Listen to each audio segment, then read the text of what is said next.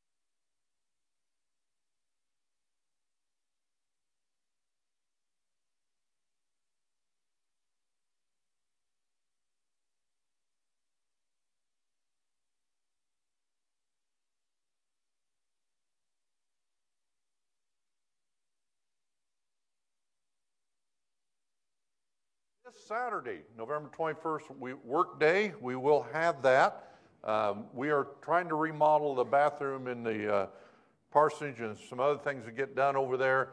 Uh, and I'm just going to work on it on work days, so however long it takes. So our, that will be our project Saturday. Uh, Family Day this month is the 22nd. I guess that's next Sunday already, correct? Wow. Um, so keep that in mind. You know the schedule for that.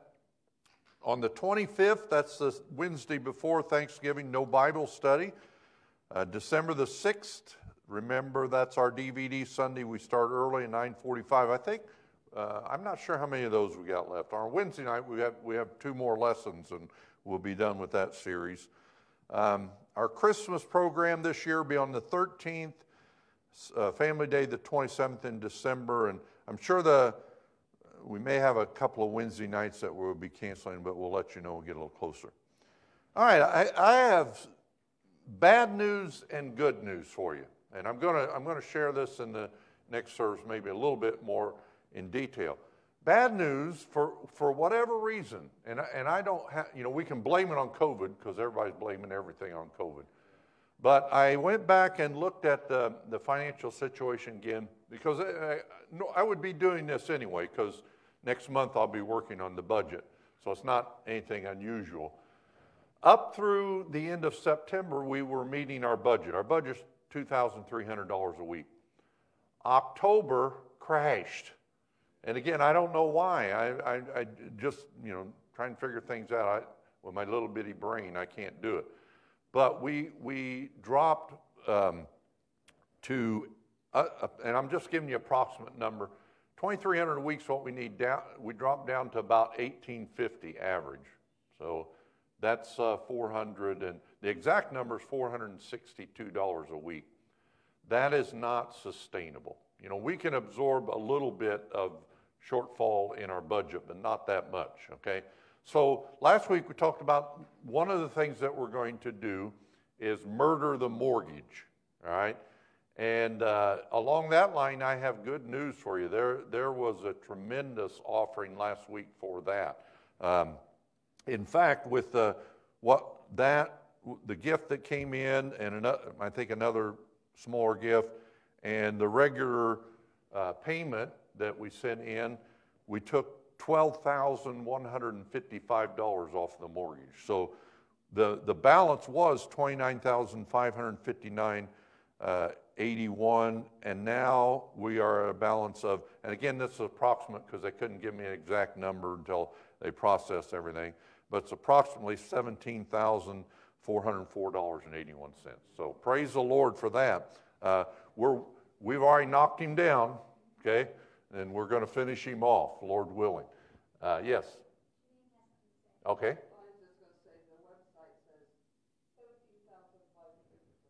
Okay, 17,530. Again, I, it was an estimate, so I'll, I'll, I'll write that down for the next group. 17,530? And 5 cents. I, I would say no cents. Um, so, uh, I mean, you, if you, you guys are smart enough to do the math, uh, if we took the, if we take the, the uh, mortgage payment out, we're going to save about $250 a week. So if we're still running $450 a week, that's still $200 we got to make up. And I, I just want to say this real quick because, you know, uh, I hate talking about this anyway. But the options that we're going to have is either in whatever way the giving comes back up, and I, I, I just really don't want to harp on the people that are already giving. Um, apparently somebody's quit, all right, or a few people have quit. So, you know, if you if you have not stopped giving, either you know, I, what I'm afraid of is because of um, people staying home and watching the stream. They're doing what a friend of mine used to call storehouse tithing. They don't come to church, so they store the tithe at the house. Okay, and that's a killer on us, folks, because you know we got bills. Uh, still making a mortgage payment. We have we have uh, uh, utilities that are, if you can imagine, all these buildings with maintenance needs. So just pray about it. Especially pray about uh, God's got what we need, and if you can help. If you're not helping and you can, please do. Um, the other option, if the giving doesn't increase, then we have two distasteful options. And I don't, I don't really want to do this, but I'm going to do what I have to do. The, one of them is we're going to sell our house and move back in the parsonage, which I really don't want to do, but again, we'll do what we have to. Um, the other one is I, I, have to go back and driving the bus, and I really don't want to do that. All right, so just pray about that. You know, the I, I think it was the CF founder who's, who um, can't remember his name right now, but said, you know, when, when there's a financial need, tell the people and tell God. So that's what I'm, I'm telling you guys where we're at, and we tell the Lord in prayer, and hopefully He'll, he'll help us there. Well, I know He will. All right, I'm done. Let's sing.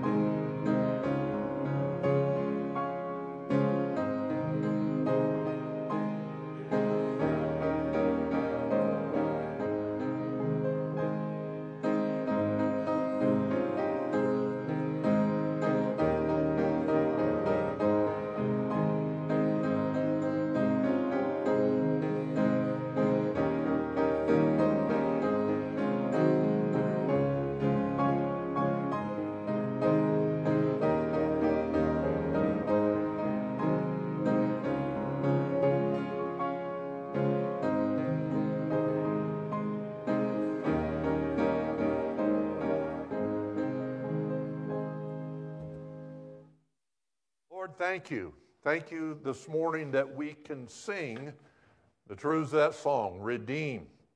And Lord, uh, we know that it's not because of anything that we have done, but Lord, by your grace and your mercy.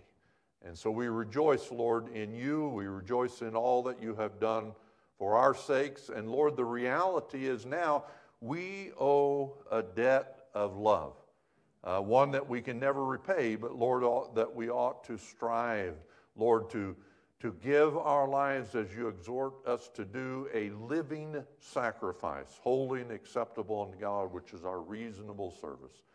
Now, Lord, help us this morning. We, Lord, cannot overstate the importance of your word. And Lord, as we open it this morning, open our ears, our minds, our hearts to receive it. Lord, not in the sense that we sometimes do and say, yeah, that's my doctrinal statement.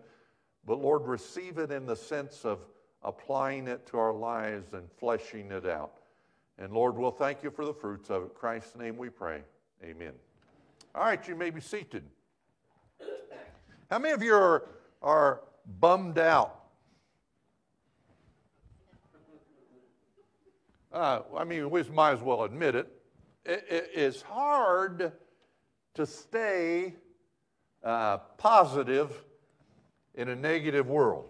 Amen? It's hard to have a sound mind in a crazy world, and it seems like a world that's getting more crazy minute by minute. But I, I would remind you again, and, and the, again, I can only say this because God's helping me. I, it's not, I mean, I am by nature, some of you know, sometimes I whine a lot. Don't say amen, Morse. uh, and so, you know, I have to fight against that. I, I, I want God's joy and God's peace and God's contentment not only control my heart, but I want, I want to exude that. I want, I want to show that. The reality is, Christians of all people have a reason to be happy and joy filled and content. Even, even when things are crazy around us. And, and they are. We have to admit that. So we've been looking at, you know, again, a sound mind, a crazy world, and dealing with depression. And I get it. There, there is clinical depression, there is actual organic caused by organic, I mean physical things. In fact, you know, you know this. If, if you're sick, uh, sometimes you are down, right? So physical things can cause depression. But I have to say this most of the time, in the case of believers, that's not the reason, okay? And the reason's what James MacDonald called our stinking thinking. All right, we don't, we don't, we don't process things right, okay? So we've been looking at that. And we've been, in particular, we've been looking at how we defeat depression. And really, again, I have to kind of correct myself because we're not defeating anything, but how we allow God to defeat depression in our lives. And it begins, first of all, with a God focus. We're going to do a little quick review. Uh, by the way, I don't do these reviews for your sake so much as I do mine, because I forget where I'm at. Uh, we begin with a God focus. We, we, we will never have what God wants us to have till we settle the matter that God matters most. And that's what we mean by God focus. It's not about that's not about me. It's not about my happiness. It's not about God is not my self-help guru, and His Word's not a self-help manual. Uh, it's all about Him. And until we get to that point, we're going to struggle in life as believers. Because God didn't design it any other way. He wants us to glorify Him. Amen? All right, so we start with a God focus. Secondly, we have the right expectations in life. Jesus said, uh, In the world, ye once in a while might, could be, have tribulation. No, he said, You shall have tribulation. We, we know that by the word and by experience. But he goes on to say, But be of good cheer, for I have overcome the world. So he's telling us where the secret for um, a, a right outlook on life. It's Him. So have the right expectation. There's going to be trouble in life. There's going to be people elected that we don't really want elected. Okay? Uh, there's going to be things done by people that we don't like. That's just the reality. We're going to have sickness. We're going to have car trouble. Uh, appliances are going to break. Um, I, I, went to lay down my Bible and some other paperwork on the fireplace hearth, which is brick, this morning, and I didn't think I laid it down that hard, but I laid it down hard enough to smash my finger. I, I whined to Joan a little bit, you know. But guess what? Christians do stuff like that too. Okay? So have the right expectation. Thirdly, you must discipline your thought life. I'm not going to labor that. Just look at Philippians 4 8. God gives the parameters for our thought life, that, and that verse strongly implies that we can control our thought life. Amen? All right? And then, fourthly, you must study the Word of God so that you know the God of the Word. Um, we, we, I, I cannot overstate the importance of the Bible and studying it, memorizing it, singing about it, uh, making it part of our lives, and spending more time in it than we do the television and Facebook and etc. Three people. All right. All right, then we started looking at some practical things that we need to do. All right. And the one that we only got through one last week, and that is do what you're supposed to do no matter how you feel. All right. And we looked at Genesis chapter 4, 1 through 7. I will read that again this morning because we're going to continue some thoughts out of that.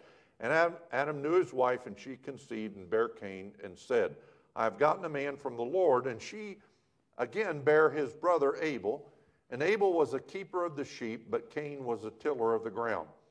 And in the process of time, it came to pass that Cain brought of the fruit of the ground an offering to the Lord. And Abel, he also brought of the firstlings of the flock and of the fat thereof. And the Lord had respect unto Abel and to his offering, but unto Cain and to his offering he had not respect. And Cain was very wroth, and his countenance fell. He got the poochy lip. Yeah, he got depressed. And the Lord said unto Cain, Why art thou wroth, and why is thy countenance falling? If thou doest well, shalt thou not be accepted, and if thou doest not well, sin lieth at the door, and unto thee shall be his desire, and thou shalt rule over him. In other words, the Lord's saying, if you if you do the right thing, your countenance is going to be lifted. If you do the right thing, you're going to feel better.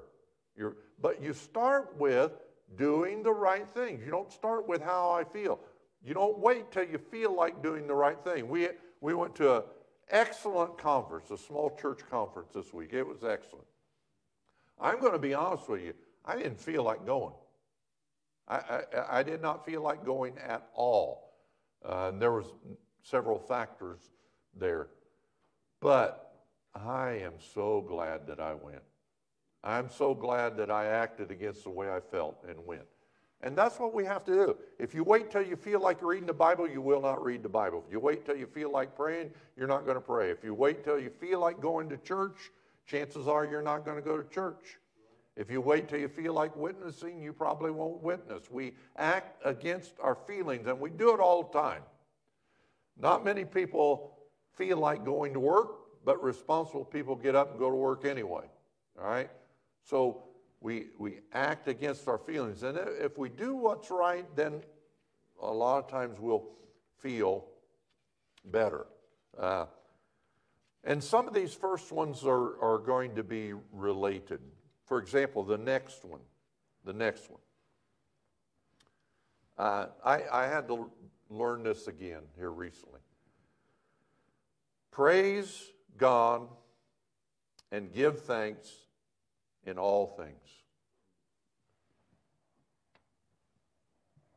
How many of you, you, you know that? Okay. I mean, the Bible teaches it. We know it. We know it. Amen?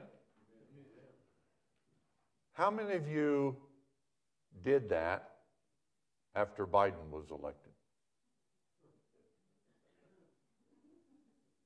Well, there might be some of you in here who are really glad he got elected, but.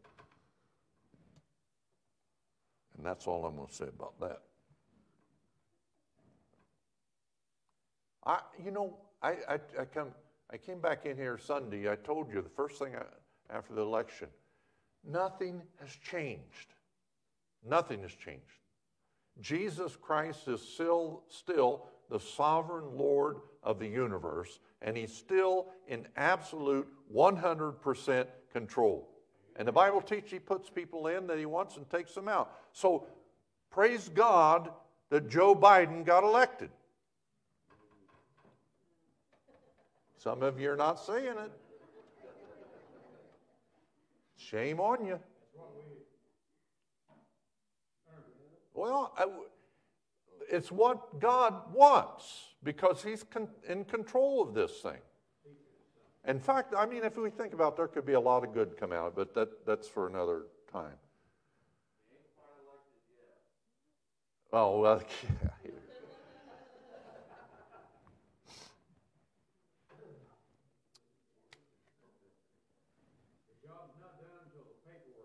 All right, well, whatever.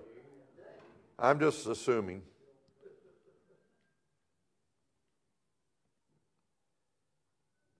They're coming after me. The Trumpsters are after me now. Your car breaks down. You praise God and give thanks for that? Not right away. well, I, I admit, uh, and now I admit, you know, that and we had this on uh, uh, our, one of our Wednesday night lessons. We have to talk to ourselves. I, I admit that. So, uh, initially, we, we may not get this right, but eventually we should get it right. When, the Bible says, for example, in 1 Thessalonians 5.18, you, you explain this away if you can. In everything give thanks, for this is the will of God in Christ Jesus concerning you. Now explain that away for me. In everything. Now, I'm pretty slow, okay? I admit it. I, I, I'm not the brightest bulb in the house. But I can understand that. Everything means everything. It means everything. We sing about it. I hope we don't sing it hypocritically, but we sing. When upon life's billows you are tempest tossed, when you are discouraged, thinking all is lost, count your many blessings, name them one by one, and it will surprise you what the Lord has done. You know the song. Count your blessings. The psalmist wrote, Psalm 69:30, I will praise the name of God with a song and will magnify him with thanksgiving. And it does not say when everything is going the way I want it to go. Enter into his gates with thanksgiving. You know this one, we deal with almost every Thanksgiving day. And into his courts with praise, and be thankful unto him and bless his name. Psalm 147 7 Singing to the Lord with thanksgiving and sing praise upon the harp unto our God. I, you know, in a, in a minute, one of the points that we're going to look at about how to lift yourself out of a depressed state or a down or discouraged state is listen, listen to godly, uplifting Christian music because of this very thing.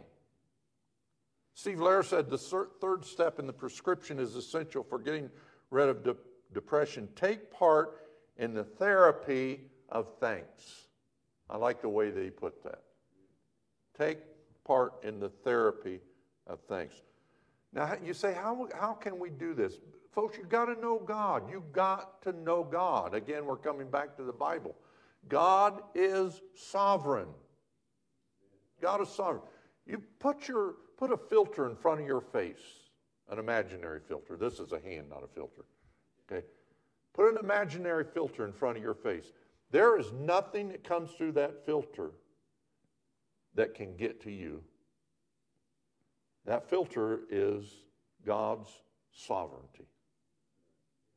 See, we, we don't have a problem acknowledging God's sovereignty in history and the way that He's done things and Maybe we don't even have trouble acknowledging God's sovereignty, you know, over the control of the events going on out there. But listen, folks, He is also sovereign over the events of your life. He's sovereign over what happens to you. If, if that's not so, He's not much of a God. If He's not in control of what comes into my, my life then he's not much of a God.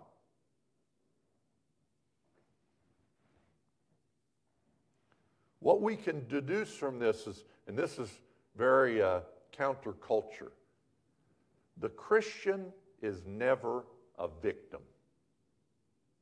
Never.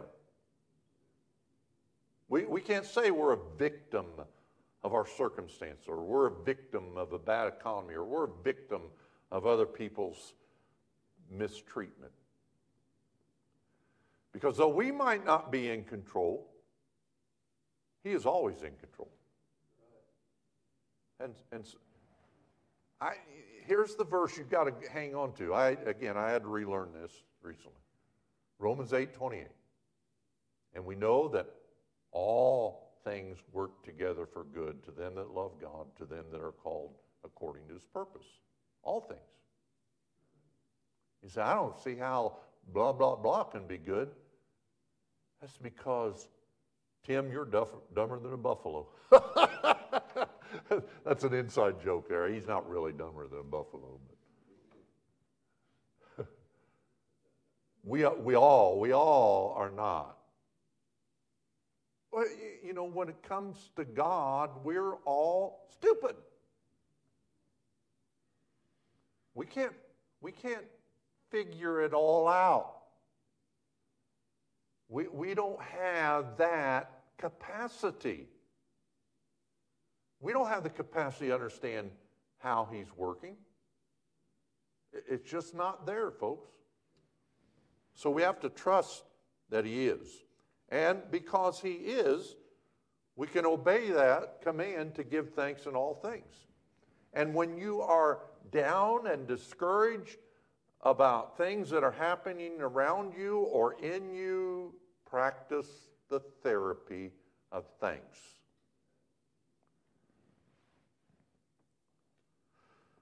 We, again, it's, it's a matter of acting against how we feel. We may not feel like giving thanks, but do it anyway. Amen?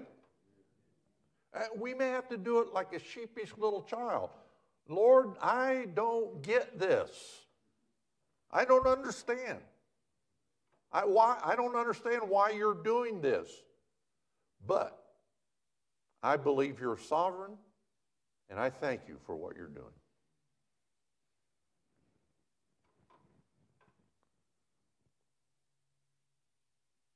I, I, I, have not perfected this, folks. I have to, I have to confess, it's easier said than done, but you can do it. You can do.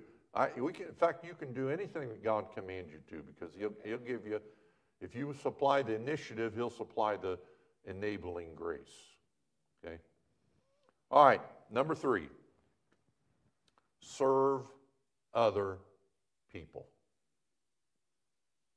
I, you know, one of the things that, I, and I don't remember what workshop we were in, but I, I was thinking about this. You know what the biggest problem we have? It's, it's not the political thing, it's not our spouse, it's not the condition, not the weather today. The biggest problem that we have is sin, and the root of sin is our selfishness. Depression is by nature a self focus. Me and my problems. Shouldn't have done that.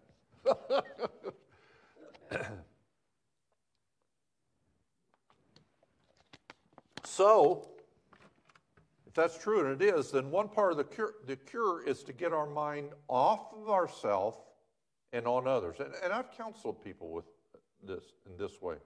They often take the counsel, but you know, if you're if you are down and discouraged and depressed, then get off your duff, go find somebody you can help. Uh, uh, volunteer in a hospital, visit somebody that's sick, do something for somebody else. Philippians 2, 3, and 4 says, Let nothing be done through strife or vainglory. And that's just two different forms of selfish and self promotion but in lowliness of mind, let each esteem other better than themselves. Now, listen carefully, verse 4. Look not every man on his own things, but every man also on the things of others. I, have talked about this a lot of times when people visit churches. The mindset you ought to have when you come to church is not what you what are you people going to do for me? You know, how are you going to make me feel good? Well, what are you going to provide? What services do you, have? The mindset ought to be first and foremost is God, you want me here? And then secondly is how can I serve here? How can I be a blessing to these people and to others by being a part of this church? If the root of the problem is self centeredness, and it is, then the answer is obvious. We have to take interest in other people and what they're struggling with. Now, again, it's got to be a genuine interest. One, of the problems that we've, we've struggled with is um, we have to check our motives. We don't go help people just to get, get them in and grow our church. I think that that might be a byproduct, but you, you go just for the sake of helping them, period, whether it benefits us or not. That's, that's why I always, I've always thought that it's good. You know, I, I started uh, ministry in a nursing home. I, I, I, had a little circuit. I preached in four nursing homes. And I, I, I, said, I jokingly said that was good for me because it got me prepared for the pastorate because after five minutes preaching nursing home, they all go sleep.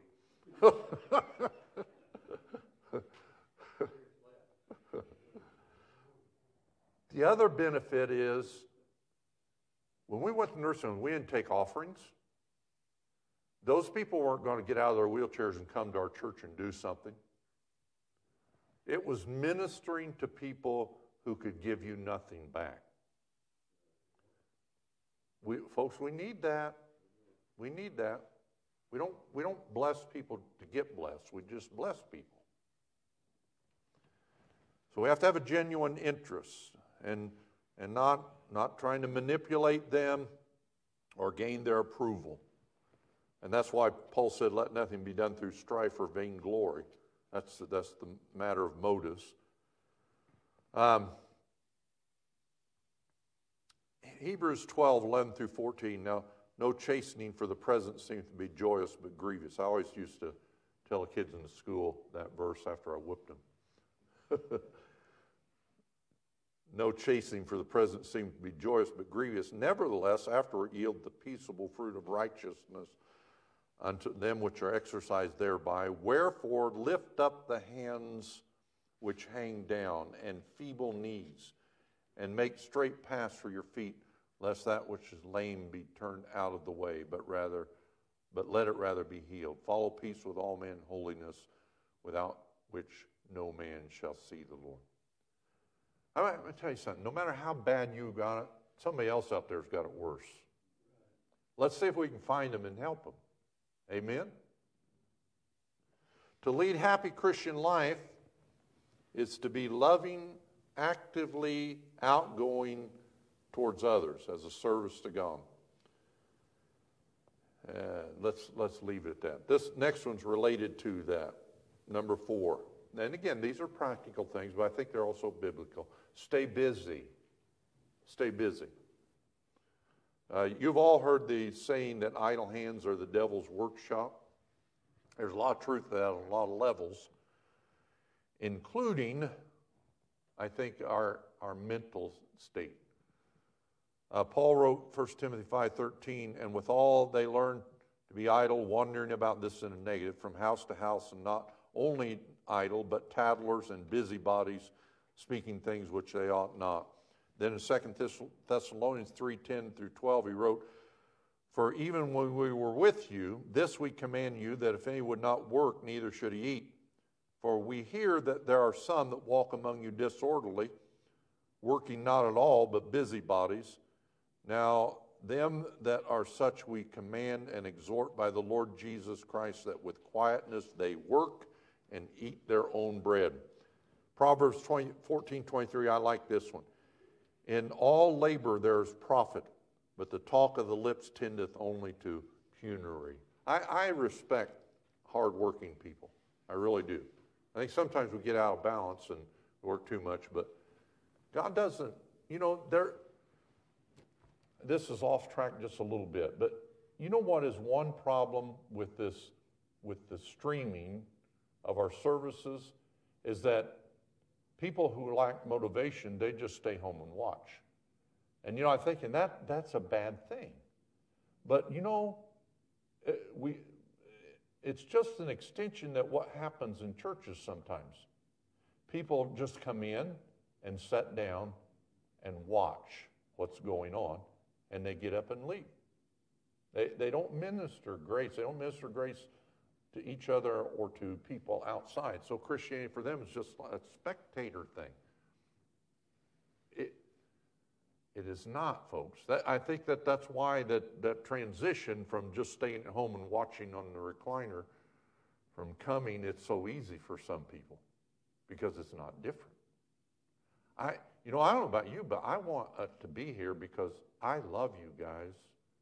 And I don't know if I'm an encouragement, but I'd like to be an encouragement to you. Okay?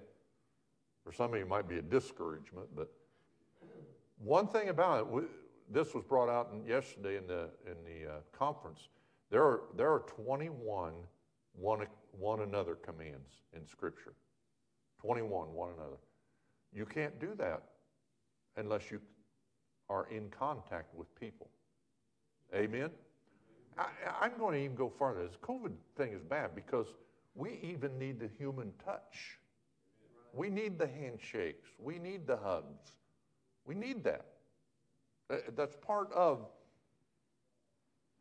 expressive love and concern for each other. I know some of you don't like hugs. That's okay. I'm not going to name any names, Morse. huh? Amen. All right. So if you start feeling down, just get up, go, and do something productive. In fact, there, there is worth, as far as how you feel, in accomplishment. Just getting something done. How many of you, uh, housewives, you get the house cleaned up, you feel good?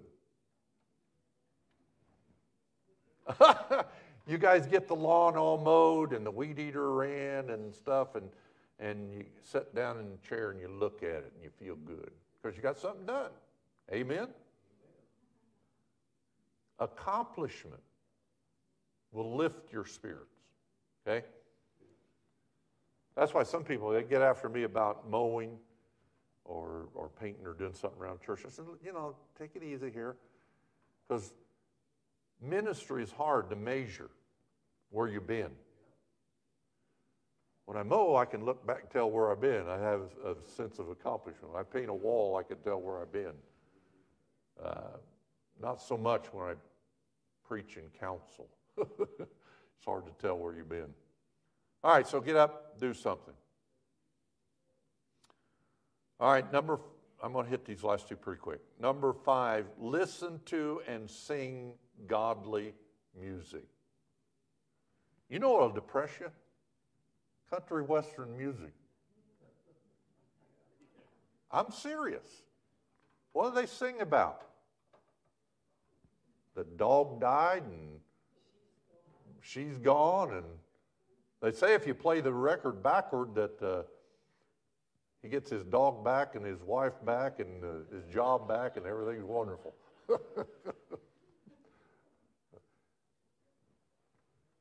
And I get it. There's some secular music that is upbeat. It's hard to listen to some bluegrass music doesn't lift your spirits. A lot of bluegrass has a Christian theme. Uh, I don't know about you, but I like all kinds of music. Um, I like I like um, Cajun music. With the Morris would hate this, but with the squeeze box and stuff, it's just it's just joyful music. Uh, polka music is, is uplifting you. But none of that is as good as listening to edifying, godly Christian music, especially when you're down in the molly grubs, okay? Um, good, godly Christian music will lift you. In fact, we're instructed.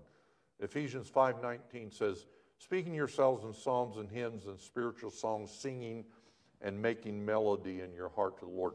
That that verse has joy written all over it. Amen? Uh, Colossians 3.16, let the word of Christ dwell in you richly in all wisdom, teaching and, and admonishing one another. How? In psalms and hymns and spiritual songs, singing with grace in your hearts to the Lord. Uh, Hebrews 2.12, saying, I will declare thy name to my brethren in the midst of the church. I will I sing praise to thee. James 5:13 is among you afflicted? Let him pray. Is any merry? Let him sing psalms. Singing. So, if you're like me you can't really sing that well or at least you don't want to listen to yourself. You can whistle hum you know whatever you do. That put something puts you in mind of I, one of the things that I love about uh, hymns is that they're pregnant with spiritual truth okay and some contemporary music is too. A lot of it's not. You know, you know what I'm talking about, the 7-Eleven song. Take seven words, sing them 11 times. Makes me want to put my head through the wall. But, but you need music that has a message and that the message is uplifting, okay? And, and it's okay if it has an up tempo too. That doesn't hurt anything. What, what, happened, what happened when Saul got depressed. He would call for who? David to play.